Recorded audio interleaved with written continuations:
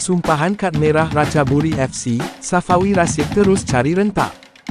Pasukan Liga 1 Thailand, Ratchaburi FC masih mencari rentak kemenangan selepas hanya terikat pasukan Sukhothai FC.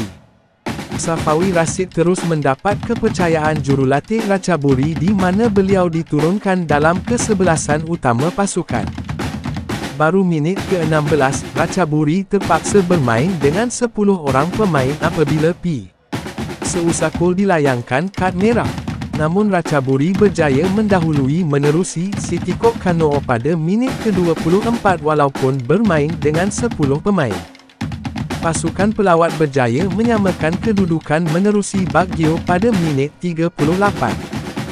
Safawi juga dilihat kurang diberikan ruang apabila setiap pergerakannya dirantai kemas oleh pihak lawan kita masih tenanti-nanti jaringan pertama Safawi dalam Liga 1 Thailand dan pasti setiap peminat mahu beliau kembali prestasi cemerlang seperti dahulu.